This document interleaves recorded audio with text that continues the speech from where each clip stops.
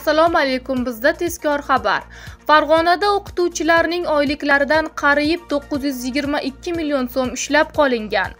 Farg'ona viloyatidagi maktab va maktabgacha ta'lim muassasalari xodimlarining oyliklaridan turli maqsadlar uchun qariyb 922 million so'm mablag' noqonuniy ushlab qolingan.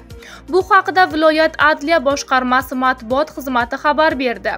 Qayd etilishicha 2020-2021 yilda farg'ona viloyatidagi 366 ta maktabning 12653 nafar o'qituvchi va xodimlari hamda 519 ta maktabgacha ta'lim muassasasining 11365 nafar tarbiyachi va xodimlarining oyliklaridan turli maqsadlar uchun jami 921 million 619 ming so'm mablag' noqonuniy ushlab qolingan.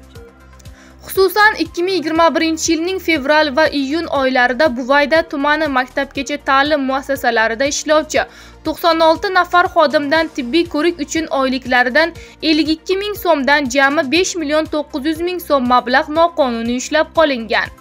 Xabarga ko'ra qonun buzilishiga yo'l qo'ygan 167 nafar mansabdor shaxs ma'muriy javobgarlikka tortilgan.